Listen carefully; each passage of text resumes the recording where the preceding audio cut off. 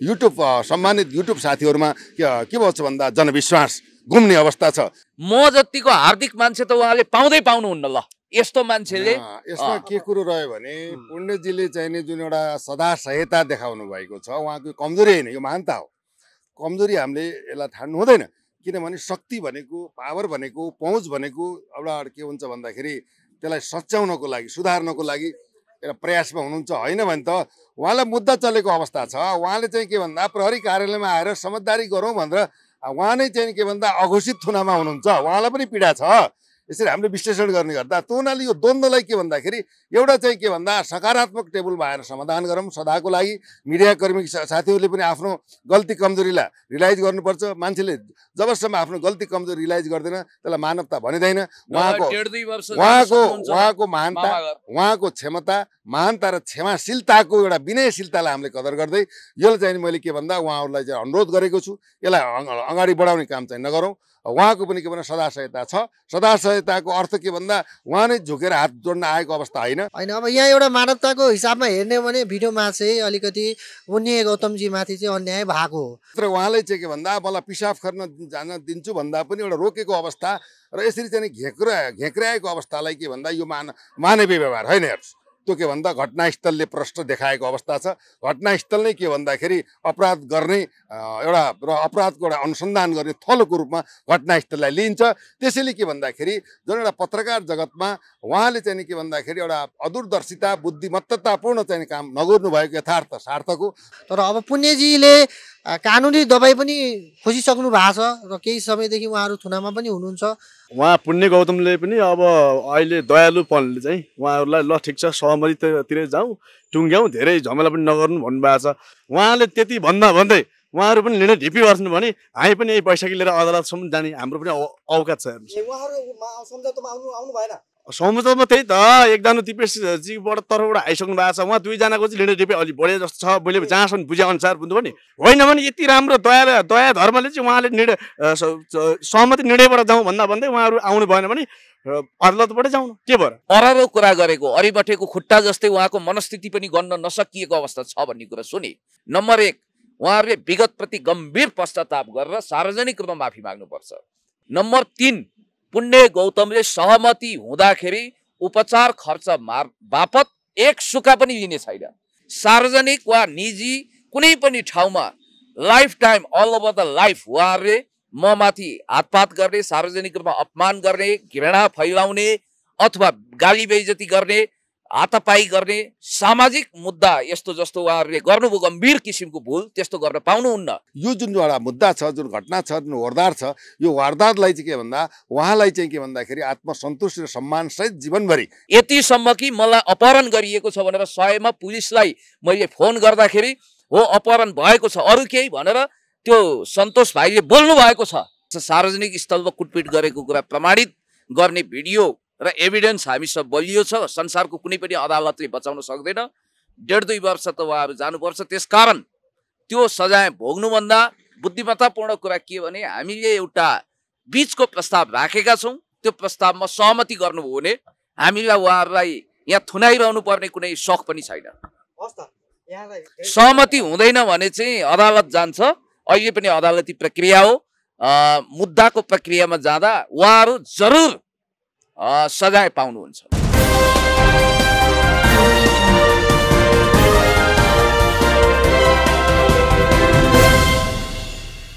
आदरणीय दर्शक जुन यो पुण्य गौतमको एउटा घटनाले लिएर एउटा सनसनी छाएको छ विभिन्न सामाजिक सञ्जालदेखि लिएर युट्युब च्यानलहरूमा जुन भिडियोहरू हामीले देखिरहेका छौँ त्यसै घटनालाई लिएर अहिले हामी गौशालाको प्रहरी परिसरमा रहेका छौँ र पूर्व डिएसपी साहब अहिले मात्रै भित्र गएर त्यहाँ बुझेर आउनु भएको छ। के छ भित्रको अवस्था भनेर मैले बुझ्न चाहेँ डिएसपी साहब के छ भित्रको अवस्था? अलिकति।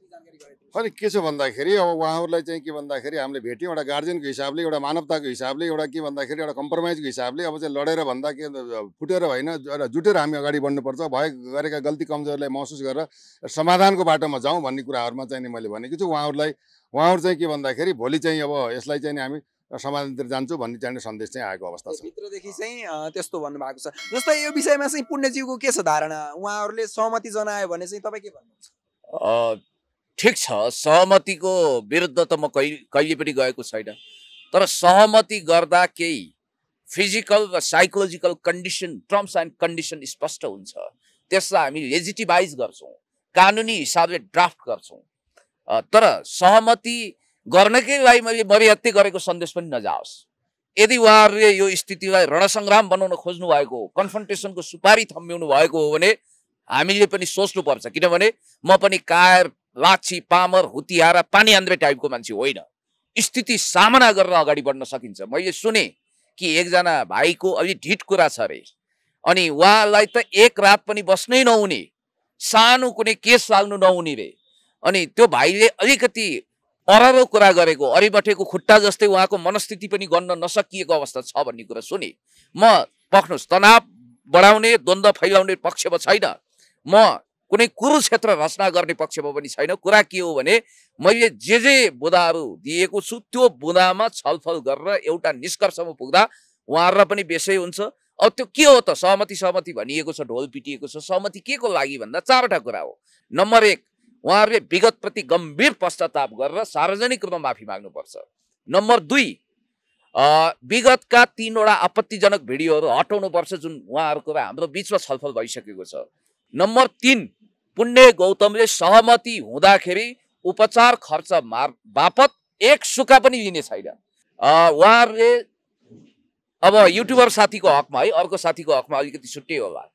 युट्युबर साथीको हकमा भविष्यमा कुनै पनि आपत्तिजनक नकारात्मक भिडियो सन्देश अथवा कुनै पनि कमेन्ट गर्न पाउनुहुन्न। यो एकदम लिखित ड्राफ्ट हुन्छ। र अर्को कुरा के छ भने सार्वजनिक वा निजी कुनै पनि ठाउँमा lifetime all over the life उहाँहरूले म माथि हातपात गर्ने सार्वजनिक रूपमा अपमान गर्ने घृणा फैलाउने अथवा गाली बेइज्जती गर्ने हातापाई गर्ने सामाजिक मुद्दा यस्तो जस्तो उहाँहरूले गर्नुभयो गम्भीर किसिमको भुल त्यस्तो गर्न पाउनुहुन्न। र चौथो नम्बरमा के भने यहाँ अ, साँडेको जुदाई बादशाहको मिचाइ जस्तो नहोस् हाम्रो हालत। भन्नको लागि आज मिडिया मिडियाकै बिचमा कक फाइट हुने साँडेको जुदाई हुने सम्भावना भएको हुनाले केही मिडिया नामै तोकेर टार्गेटमा रहेको छ भनिएको छ। उहाँहरूको एउटा सन्देश छ। ती मिडिया र उहाँहरूको बिचमा पनि समझदारी हुन्छ र हामी यो सारा सहमतिलाई संसारलाई सुनाउने गरी सबै मिडिया बोलाएर यदि सहमति भएको खण्डमा हामी त्यसरी सार्वजनिक अपिल गर्नेछौँ र सार्वजनिक रूपमा त्यो सूचना सन्देश जारी गर्नेछौँ। जस्तै अहिले भर्खर मात्रै डिएसपी साहब भित्र गएर आउनुभयो। उहाँले भनेका बुदाहरू हजुरले उहाँलाई जानकारी गराउनु भयो कि अथवा उहाँभित्र चाहिँ के छ अवस्था के भनेर हजुर? होइन मैले के भन्दाखेरि अब चाहिँ नि एउटा द्वन्द्वात्मक एउटा परिस्थिति सिर्जना भएको अवस्था छ होइन? यसले अब के भन्दा कानुनी दायरामा यो परिलक्षित भएको अवस्था छ। त्यसले गर्दाखेरि पुण्यजी पनि अब बाहिर हुनुहुन्छ। अँ, यसमा के भन्दा तपाईँहरूले चाहिँ के भन्दाखेरि अब चाहिँ आत्मआलोचना गरेर हाम्रा सर्टेन कुराहरूलाई चाहिँ के भन्दा आत्मसात गरेर एउटा के भन्दा जस्तै मिडिया मिडिया बिचको द्वन्द्वलाई पनि निवारण गर्ने पुण्यजीले चाहिँ अहिले भित्र जुन अनुसन्धानमा रहनुभएको छ उहाँहरूसँग समाधान गरेर बहुआयामिक बाटोबाट चाहिँ बाटोबाट सार्वजनिक सार्वजनिक जीवनमा एक अर्काप्रति कुठाराघात सम्मान र अपमानका कुराहरूलाई मध्यनजर राखेर एउटा चाहिँ सदा सदाको लागि यो चाहिँ एउटा बिट मारौँ यो समस्या समाधान गरौँ। टु द पोइन्टमा आऊ र मिलापत्र भोलि नै गरौँ। यो जुन एउटा मुद्दा छ जुन घटना छ जुन वारदात छ यो वारदातलाई चाहिँ के भन्दा उहाँलाई चाहिँ के भन्दाखेरि आत्मसन्तुष्टि र सम्मानसहित जीवनभरि एउटा के भन्दाखेरि सम्मान तरिकाले अपमानित नभएर एकअर्कामा पुनः फेरि हातेमालो गरेर एउटा मानवीय जीवन र एउटा नागरिक जीवनको हातमाले गरेर चाहिँ यसलाई समाधान गर्नुतिर चाहिँ जानुपर्छ। सकारात्मक कोसिस गर्नुभएको छ गरिरहनुहोस्। जारी राख्नुहोस्। जेरी भाइ हुनुहुन्छ। उहाँले पनि गर्नुहुनेछ र म यति कुरा भन्छु जनआन्दोलनको घाइते नरनाथ गौतम पनि बैशाखी टेकेर आउनुभएको छ। मैले उहाँहरूलाई के भनौँ भने मलाई त्यति हुतिहार र कायर पनि नसोच्नुहोस् कि।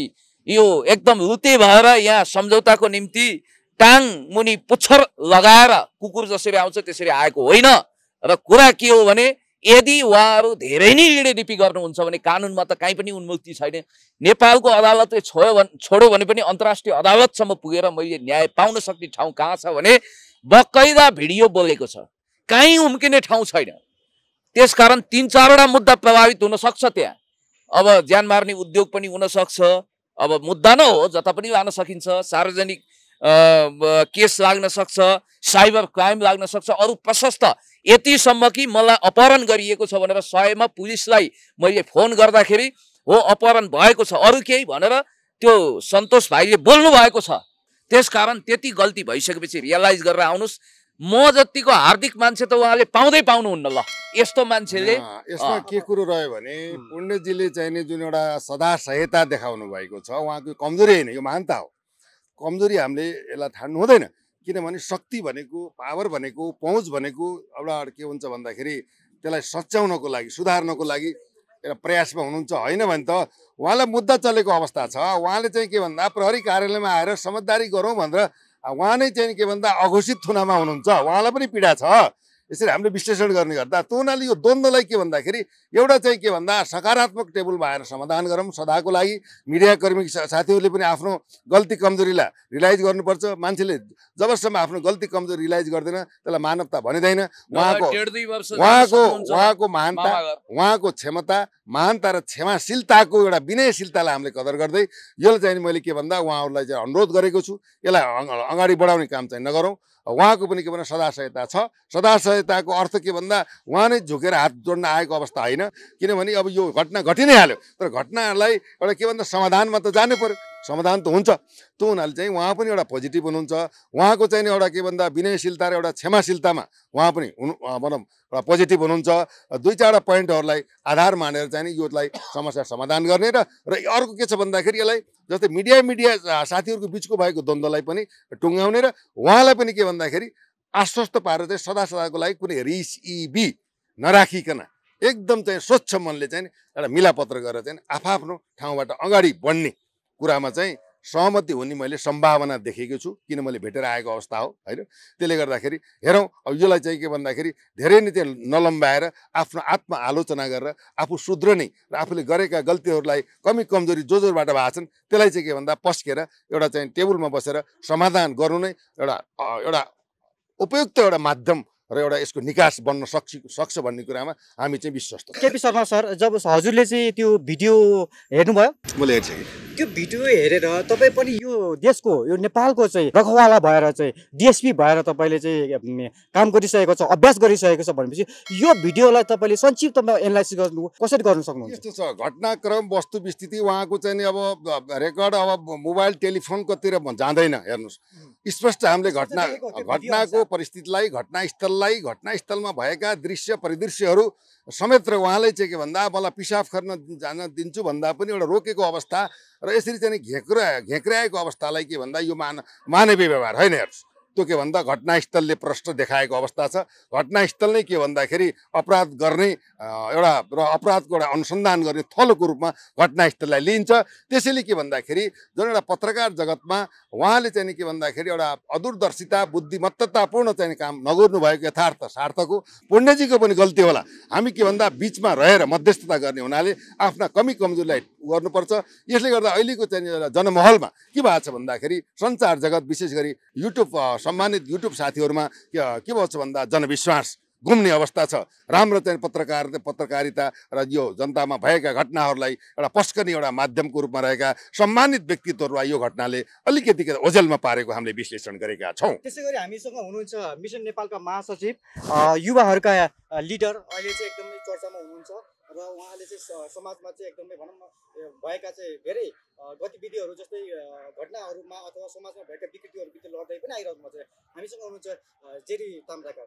जेरी ताम्राकार यो तपाईँले यो भिडियोलाई भिडियो तपाईँले हेर्नुभयो त्यो भिडियोले एनालाइसिस गर्दाखेरि चाहिँ कसरी यसलाई एनालाइस गर्न सक्नुहुन्छ? अब यो विषयमा चाहिँ के हो भन्दाखेरि कुरा गरे कुराकै दुःख होइन। पहिलाहरू उहाँहरू नै आफै आफै मिलिजुली होइन हेमाजीको पक्षमा मालाजीको पक्षमा एकअर्कासँग चाहिँ स्वार्थ समर्थन सपोर्ट गरेर हिँड्नु भइरहेछ। अब अहिले आएर जो साथी सम्बन्ध थियो उही टुटफुट कसैको कसैको रेकर्ड आउट भएको छ कसैले कसैलाई आरोप प्रत्यारोप हात हाल हाल होइन अब यहाँ एउटा मानवताको हिसाबमा हेर्ने हो भने भिडियोमा चाहिँ अलिकति पुण्य गौतमजीमाथि चाहिँ अन्याय भएको हो। तर अब पुण्यजीले कानुनी दबाई पनि खोजिसक्नु भएको छ र केही समयदेखि उहाँहरू थुनामा पनि हुनुहुन्छ। उहाँले अपराध गर्नुभयो होला। उहाँले अगर रियलाइज गर्नुहुन्छ भने हात अगाडि सार्नुहुन्छ भने तपाईँले पनि हात सारिदिनुहोस्। हामी मिसन नेपाल कसैको पक्ष र कसैको विपक्षमा आएको होइन। हामीलाई पनि दुःख लागेको छ। हामीले पनि भिडियो हेऱ्यौँ। हरेक नेपालीको मन दुखेको छ। एउटा पत्रकार भएर भन्दाखेरि चाहिँ यहाँ यसरी चाहिँ आफू आफूमा लडेर आफू आफूमै मर्ने कार्यक्रमलाई अगाडि नबढाइदिन हामी विनम्र अनुरोध गर्दछौँ। र यो विषयमा हामी धेरै बोल्न पनि चाहँदैनौँ। हामी राज्य देश बचाउने अभियन्ताहरू हो। यो देशको रक्षा गरौँ यो देशमा रोजगार सिर्जना गरौँ भ्रष्टाचार नहोस् अन्याय वित्तीय विखण्डनकारीहरू पैदा नहोस् भन्ने हिसाबमा लागि पर्दाखेरि यस्ता साना साना केसहरू यहाँ उहाँहरूको लागि ठुलो होला। तर यो हामी पत्रकार साथी अभियन्ता साथी सबै मिलिजुली जान जरुरी छ धन्यवाद। यसै गरी हामीसँग हुनुहुन्छ जनआन्दोलनका घाइते नरनाथ गौतमजी हुनुहुन्छ। नरनाथजी आजको यो घटनालाई आज के भयो यसको बारेमा जानकारी गराउनु र तपाईँको विचार व्यक्त गरिदिनु मेरो विचार त्यही हो। मभन्दा उहाँहरू सरहरूले पनि भनिसक्नुभयो होइन। विचारधारा त्यही हो। उहाँ पुण्य गौतमले पनि अब अहिले दयालुपनले चाहिँ उहाँहरूलाई ल ठिक छ सहमतितिरै जाउँ टुङ्ग्याउँ धेरै झमेला पनि नगर्नु भन्नुभएको छ। उहाँले त्यति भन्दा भन्दै उहाँहरू पनि निर्णय ढिपी गर्छन् भने हामी पनि यही बैशाखी लिएर अदालतसम्म जाने हाम्रो पनि औकात छ संसदमा त्यही त एकजना दिपेशजीबाट तर्फबाट आइसक्नु भएको छ। उहाँ दुईजनाको चाहिँ लिडर डिपे अलिक बढे जस्तो छ। मैले जहाँसम्म बुझे अनुसार बुझ्नु नि म पनि यसमा एकदम अवेदना रूपमा लागिपरिरहेको र उहाँले उहाँको हाम्रो राय सल्लाह अनुसार चाहिँ उहाँबाट तपाईँको चाहिँ निर्णय लगभग भइसकेको छ। अब उहाँभित्रबाट चाहिँ उहाँहरूको निर्णय मात्रै आउनु भएको छ। निर्णयलाई चाहिँ अब रोक्नु मिल्दैन। किन अगाडि बढ्नुपर्छ हातमाला कायम गर्दै अगाडि बढ्दै गयो भने यो समृद्ध नेपाल सुखी नेपाल पनि मलाई लाग्छ जहाँसम्म पक्कै हुन्छ। हामी नेपाल आमाको सन्तान हौँ। हामी नेपाल आमाको धरतीका जन्मेका हौँ। यो धरतीलाई पनि यो का कानुनलाई मान्ने कानुनलाई नि टेकेर जाने हो भने अदालत अदालत पनि जाउँ। होइन भने यति राम्रो दया दया धर्मले चाहिँ उहाँले निर्णय सहमति निर्णयबाट जाउँ भन्दा भन्दै उहाँहरू आउनु भएन भने अदालतबाटै जाउँ के भएर यही नै हो मैले जहाँसम्म देखाएँ अब धेरै लम्बे तम्बे कुरा नगरौँ। अब त्यही नै हो। हस् त धन्यवाद? पार्टीबाट पार्टी तपाईँको देशै पार्टी पार्टीले पनि यसलाई गम्भीर रूपले लिएको छ बुझ्नुभयो नि? र जनताले आम जनताले पनि गम्भीर रूपले लिएको छ अब तपाईँको चाहिँ कानुन उपचारबाट जानु भन्ने धारणा छ तर के छ भने एकचोटि जे जस्तो पनि अ, पुण्य गौतमजीले पनि दया राखिदिनु भएको छ। यही नै हो म धेरै बोल्न चाहन्न। मैले जहाँसम्म त्यही नै हो। हस् धन्यवाद। यहाँलाई फेरि अब अन्तमा चाहिँ पूर्व डिएससीको साथ केपी शर्माज्यू के चाहिँ आफ्नो होइन यसमा के छ भन्दाखेरि एउटा एउटा एउटा एउटा एउटा घटना चाहिँ दुःखद घटना हो। यो घटनालाई के भन्दाखेरि अब पुण्यजीको महानता र चाहिँ उहाँहरूको पनि एउटा के भन्दाखेरि शालीनता दुई पक्षलाई जोडेर चाहिँ समाधानको चाहिँ बाटोमा हामीले कुरा पनि गरेका छौँ। अब जहाँसम्म भोलि चाहिँ उहाँहरूले चाहिँ मैले भनेको छु तपाईँ चाहिँ मिलापत्र सम सहमतिमा जानुहोस्। पुण्यजीको चाहिँ नि जुन एउटा चाहिँ नि मानवर्धन भएको छ समाधानतिर गएर यसलाई चाहिँ सदाको लागि टुङ्ग्याउँ। एउटा चाहिँ सौहार्दता एउटा घटना दुःखद घटना हो। जतातिर गयो भने घटना त दुःखद हो। यो दुःखद घटनाबाट चाहिँ के भन्दा आम चाहिँ पब्लिकमा भएका नकारात्मक कुराहरूलाई पनि ठिक छ। अन्तिममा गएर चाहिँ के भन्दा एउटा समझदारी भयो भन्ने वातावरण सृजना होस् यसले चाहिँ राम्रो सन्देश दियोस्। मेलमिलाप नै सबभन्दा ठुलो यसको के भन्दा औषधि हो भन्ने कुरामा हामी लागिरहेका छौँ। धन्यवाद नमस्कार। मेरो भन्नु यही छ कि छिटोभन्दा छिटो बुद्धिमत्तापूर्ण तरिकाले शान्तिपूर्ण तरिकाले कुरा सल्ट्याउँ सल्टिँदैन भने त अदालतले आफ्नो काम गर्छ। हामीले पनि राज्य प्रशासन अदालत मार्फत न्याय प्राप्त गर्छौँ र उहाँहरूलाई थाहा छ सार्वजनिक स्थलमा कुटपिट गरेको कुरा प्रमाणित गर्ने भिडियो र एभिडेन्स हामीसँग बलियो छ। संसारको कुनै पनि अदालतले बचाउन सक्दैन। डेढ दुई वर्ष त उहाँहरू जानुपर्छ। त्यसकारण त्यो सजाय भोग्नुभन्दा बुद्धिमत्तापूर्ण कुरा के भने हामीले एउटा बिचको प्रस्ताव राखेका छौँ। त्यो प्रस्तावमा सहमति गर्नुभयो भने हामीलाई उहाँहरूलाई यहाँ थुनाइरहनु पर्ने कुनै सख पनि छैन। सहमति हुँदैन भने चाहिँ अदालत जान्छ। अहिले पनि अदालती प्रक्रिया हो। मुद्दाको प्रक्रियामा जाँदा उहाँहरू जरुर सजाय पाउनुहुन्छ। त्यो अधिकार छ उनीहरूले जान चाहेको उत्सुकता हामीले मेटाउने कोसिस मात्रै गरेको हौँ। यसलाई तपाईँ अन्यथा नबुझिदिनु हुन म विनम्रताका साथ अनुरोध गर्न चाहन्छु र अन्तिममा यो घटना कहिले अब यसको निरीक्षण हुन्छ र यो घटनालाई कति दिन अझै हामीले हाम्रो दर्शक महानुभावहरू र भित्र गएका साथीहरू कहिले निस्किन्छन् भन्ने धेरैको कौतूहलता रहेको छ। अन्तिममा छोटकरीमा यसलाई प्रश्न पारिदिनुहोस् कति दिनसम्म चाहिँ यो घटनाको फाइनल हुनेछ? यो उहाँहरूमै निर्भर छ। यदि उहाँहरूले लेडे रिपी जारी राख्नुभयो आफ्नो जिद्दी छाड्नु भएन। हामीले कहाँ गल्ती गरेका छौँ भनेर विगतप्रति पश्चाताप गर्नु भएन। आफू एकदमै जगर सेट भएर बस्नुभयो।